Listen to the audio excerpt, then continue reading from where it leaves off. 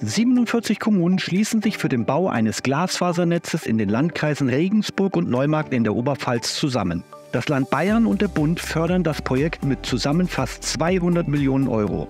50.000 Haushalte und Unternehmen werden von dem Ausbau profitieren. Die Telekom wird das Netz nach dem Ausbau betreiben. Das Netz selbst bleibt im Besitz der Labernab Infrastrukturgesellschaft, die das Netz im Auftrag der 47 Kommunen baut. Die entsprechenden Verträge wurden heute in Passberg unterzeichnet. Es ist das größte Betreibermodell der Telekom in Deutschland.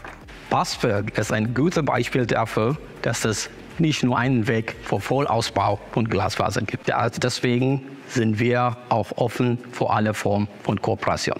Die Telekom hat sich gegen einen starken Bewerberkreis in einem komplexen Vergabeverfahren durchgesetzt. Das Angebot hat uns preislich und inhaltlich voll überzeugt so sind wir uns sicher, dass die Telekom der richtige Partner an unserer Seite ist. Das Netz wurde in drei Cluster unterteilt. Für alle drei Cluster erhielt die Telekom den Zuschlag. Dass wir alle drei Cluster gewinnen konnten, das freut uns sehr. Aber wir machen noch mehr für die Region.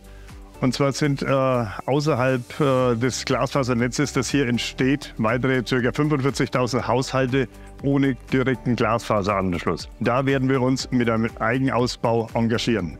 Übrigens, die Telekom stellt sicher, dass das Netz auch für andere Inhalteanbieter offen steht und die Kundinnen und Kunden eine freie Wahl haben.